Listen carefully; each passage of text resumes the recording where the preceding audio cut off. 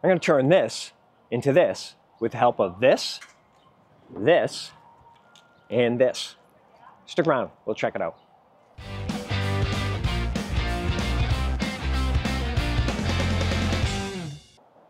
All right, before I get into a bulk of the work, let me give you a little lay of the land. Uh, here we are with our Starlink here installed on a flagpole buddy. And then I have a jack here that has a wire that goes all the way into the rig and up into an equipment cabinet. I'll show you that. I do have some videos of this previous work. I will put the links in the description below. All right, this is our half bath and all of the equipment is up in the cabinet up there. All right, so what we have here is a couple of uh, stereo cabinet fans. I got one there and one there. And what they're doing is they're pulling hot air out of here because it does get kind of warm in here. And then over here I've got a couple of vents that are allowing um, air to be pulled in from the cavity that's behind here. Up here we have the cable coming in from Starlink and then I have another cable that goes down into the basement where I run another access point if I need to. I don't have it hooked up right now. And then next to that is the 120 volt power that I pulled up into here to power all this stuff. On this side, that box there is the Verizon 5G gateway. Over here is the T-Mobile 5G gateway. And then this up above here is the Starlink router followed by the box below it, which is the Starlink power supply. And then below that, we have an uninterruptible battery backup power supply that's keeping everything up and running. And then we, of course, have the star of the show, which is this Peplink B-One. And installed in it is a RoamLink multi-carrier SIM card that will connect to the cellular carriers of T-Mobile, Verizon, AT&T, and US Cellular. So what we're going to do is I'm going to get rid of all of that stuff back there and the only thing that'll be left in here is this and a small power supply to rig it all up. All right, so here are the components we're to need for this project. First, we have some 12 gauge three conductor wire uh, positive, negative, and then one for the chassis ground. I'm using 12 gauge because I'm only going about 18 to 20 feet from the battery and the voltage drop from the battery to the end of this wire at the converter won't be that significant. As a matter of fact, I've already done the project and I know that it'll be 13.6 at the uh, DC converter from the battery, which is also at about 13.6. Um, if you're going to go any longer, you're going to want to do the math to figure out what gauge you're going to want to use. Um, some people have been known to go down to like a 6 gauge, 8 gauge, 10 gauge um, to get the job done. In my case, 12 gauge is going to work fine, and you'll probably be less than 20 feet from your battery, so that'll be fine. And this is uh, rated, it'll do 20 amps. Um, so I will put a 20 amp inline fuse closest to the battery to protect the wire. Um, should something go wrong, short out somewhere, the fuse will blow, stop fire. The other thing I'm going to do is I'm going to put in a switch closer to the um, DC converter where I can get access to it easily. As you saw, I'm up in a cabinet, so going up there to shut things off will be a little bit of a nuisance. So I want to put this a little bit lower so I can turn it on and off at will if we're not um, going to be using it uh, away and we don't need it, or I just don't want to drain down the batteries if we're not using it. So um, then we have the SIM card. This isn't really the SIM card, it's just an SD card I'm using to represent the SIM card. But as I mentioned, I've got RoamLink, which is a multi-carrier uh, service from Mobile Must Have. It's been working out great. I've tested it for, I think, a little over six months now.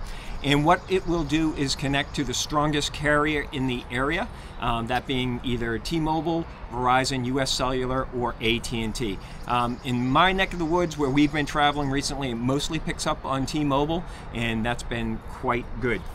Um, the DC converters, that's a little bit of a challenge. Um, Mobile Must Have offers this one, and this is kind of generic. You can get it off of Amazon too. It's about $129, and I had problems with this.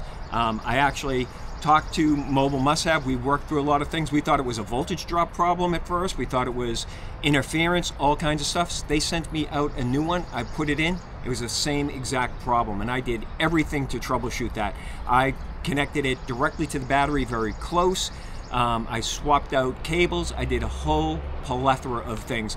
I actually got this one from Amazon, um, which is uh, just like the one from Mobile Must Have. So I tried three of them and they all gave the same problem, which was you would hook it up, be going great, and then the Starlink would reboot sporadically. Um, over and over and over again. It might hold on for 15, 20, 30 minutes and then boom, it would reboot. As soon as I took this out, went back to the Starlink power supply and the Starlink router, using all the same cable, except for the DC cable, of course, um, everything worked fine. So um, I, I, sent that back. They gave me credit. They were very good to work with, so that's not a dig against um, Mobile Must Have at all. The customer service there is outstanding. Um, I'm sure they're going to investigate and see what's going on, and they probably, in my estimation, they probably won't carry this anymore, but I can't speak for them, so don't hold me to that. What I ended up doing is getting this one. Um, this is Exstar Link. You can get this off Amazon as well. Uh, this is the one Starlink V3, which is generation 3. It um, is a little bit more robust. Um, it weighs a little bit more. It has a bigger heat sink. Um, it has the convenience of having an on-off switch, which is nice.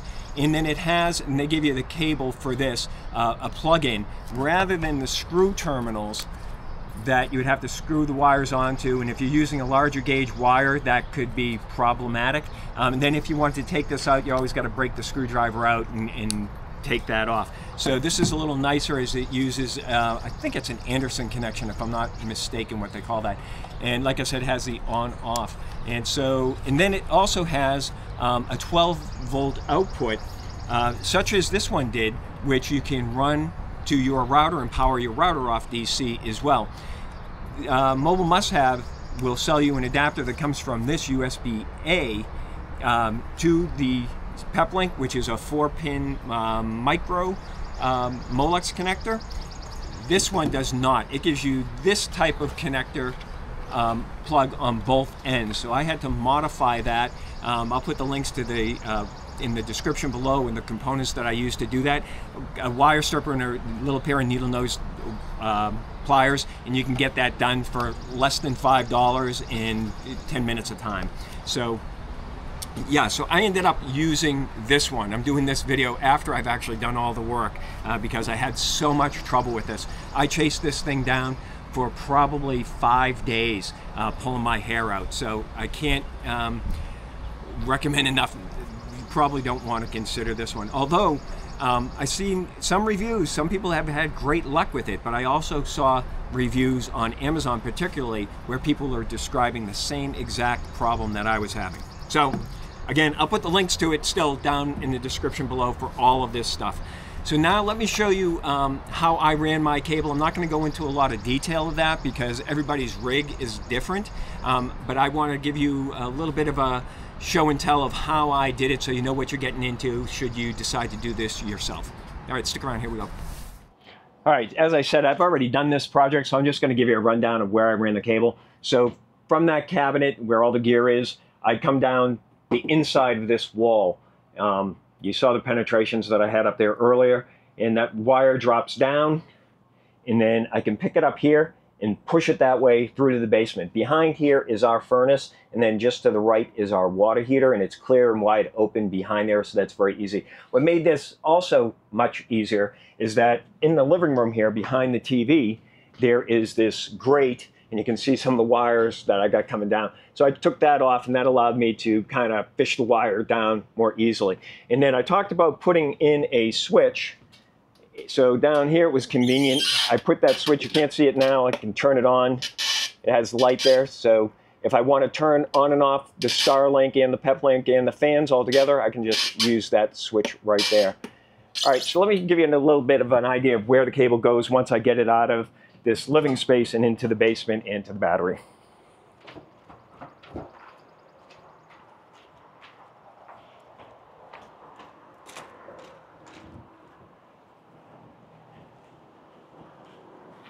All right, so on the outside of the rig, right where that light is, is about the back of that um, cabinet where I got the gear. So the wire comes down that interior wall and then it comes across here through the storage here. I run it up through this pipe from here or this um, slit channel and it goes there into the utility area which is not really accessible but here it is here where all the battery and connections are and stuff like that and it comes up across there it's dark in here you can't really see but it comes down and then I split it out here connect to my DC um, negative bus DC positive bus over here I've got that 20 amp inline fuse and then here's the chassis ground going down to there that's it.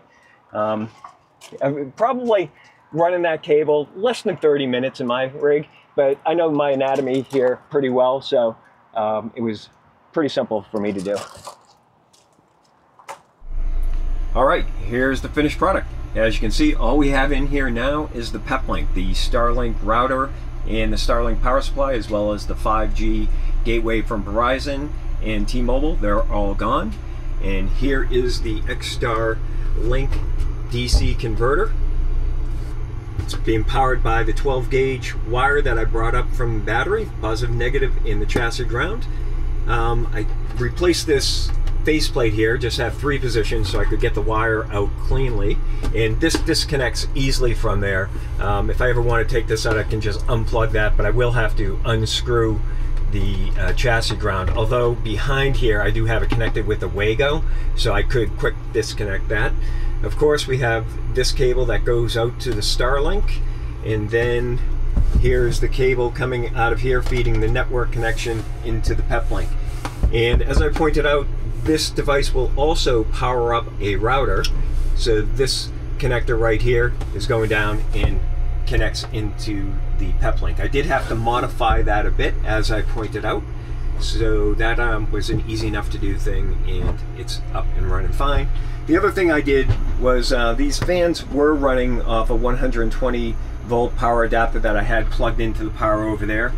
Uh, seeing as they do run off 6 volts, I got a buck converter and um, just tapped into the 12 volt line, fused it, put the buck converter to step the voltage down to 6 volts, 3 amps, and now those are running off DC as well. So there is now no reliance on AC power for our internet connection whatsoever. So it's very efficient, very clean, obviously a lot less clutter.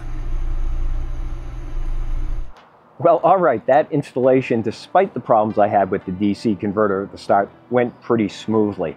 I'll tell you though, that DC converter really frustrated me. I did everything I could to troubleshoot that. I broke out my oscilloscope looking for interference coming from the chassis. I was looking for ground loops, all kinds of stuff. I did have to go through the troubleshooting procedure with Mobile Must Have to prove that it was the product and not something I was doing. And as I said, they um, stood right up and took care of that once we determined that it was the product. So great customer service from them. I'm glad I found an alternative product that solved the problem, but I'm a little disappointed that I couldn't get that from Mobile Must Have.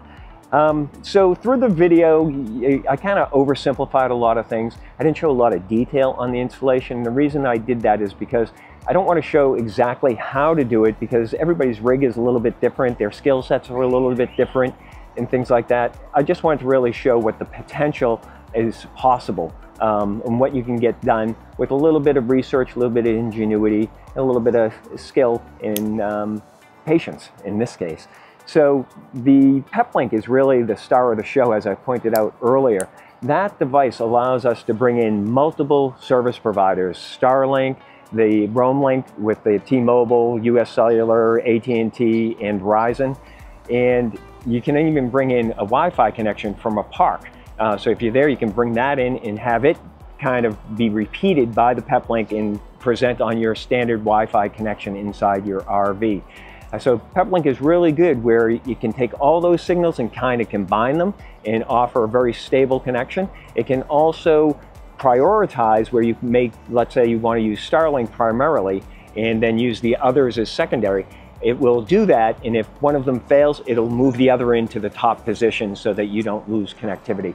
And we really rely on that because we're working from the road all the time. Ellen is on conference calls all day. So Peplink, RoamLink, and Starlink all put together is a great, great solution for us. Well, I think that's all I have to say about this. It um, was a lot of information to cover. Hopefully I got enough out there for you. I put a bunch of links in the description below to help you get some more information. Of course, if you have any questions or comments, please leave them down below. I'll do my best to answer them for you. And if you want to get something like this done, um, I might be able to find somebody to help you get it done, or um, maybe if I'm in your area, I could do it for you. And of course, if you're not comfortable doing it yourself, you're always best to hire a professional. All right, so as usual, if you like this video, please give it a thumbs up. If you like this kind of content, please subscribe. And you think anybody else will get value from this content, please share it out to them. Um, yeah, so this is third week of tech videos. Hopefully I can get one of an RV campground or resort review soon and you can see Ellen's smiling face and not have to put up with me. But till then, we'll see ya.